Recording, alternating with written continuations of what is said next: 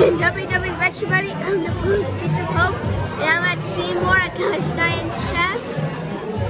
And we're gonna eat this cheese pizza. Thank you, Logan Paul and KSI, for this prime, and it's the best. Let's try out this cheese pizza. It's really cheesy. The sauce is really good. Try again.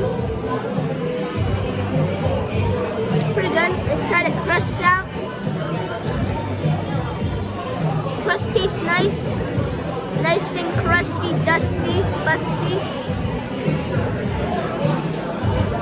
You could see the undercarriage right there. Thank you for watching the Polish Pizza video.